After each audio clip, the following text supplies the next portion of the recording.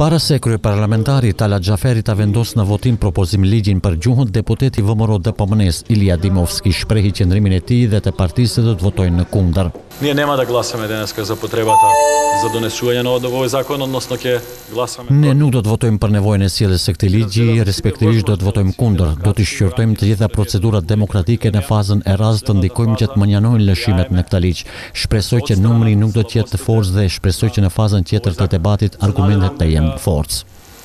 Brojkata nema da e sila, se nadevam deka argumentite ke se sila vo debatata vo slednata faza od donesuvanje na ovoj zakon. Ndërkaq në Presqendrën e Kuvendit deputeti i BDI-së Artan Grubi e përshëndeti votimin e propozimligjit me çka ai shpreson që në Komisionin për Çështje Evropiane do të kalojë debati pa problem dhe se ligji do të miratohet këtë vit. Njëherit Grubi bëri me dije se gjatë debatit në lexim të dytë BDI-ja nuk do të propozojë amandamente shtesë. Dua të shpreh keqardhje për vendimin e VMRO-DPMNE-së që të voton kundër nevojës për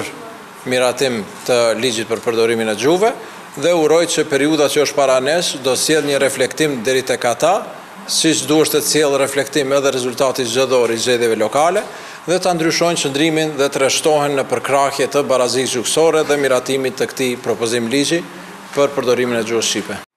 Deputeti i Lëvizjes Besa, Fadil Zendeli, ripërsëriti qëndrimin e partisë së tij se ata nuk kanë qenë kundër votimit të këtij ligji, por gjatë leximit të dytë do të propozojnë amendamente. Do të përgatisim amendamente në drejtim të asaj që të zyrtarizohet ky ligj apo propozim ligj. Thonë në drejtim të intervenimit në disa nene që ne mendojmë se janë substanciale që ky propozim ligj ta marrë formën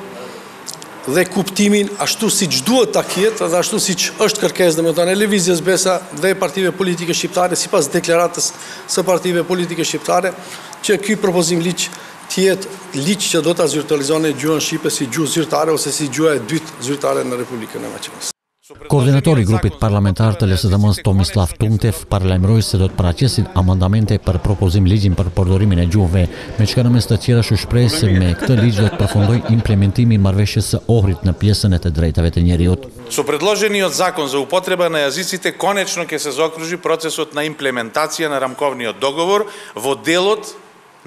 Pres që në bashkëpunim me partnerët e koalicionit si dhe deputetët e tjerë gjatë debatit ku do të parashtrohen amandamente, pra në fazën e ardhshme do të arrijmë deri tek zgjidhja përfundimtare e cila do të jetë në interes të të gjithë qytetarëve dhe të gjitha bashkësive etnike. Ne si grup parlamentar po punojmë për propozimet që ne presim të kontribuojmë për një zgjidhje më të mirë ligjore.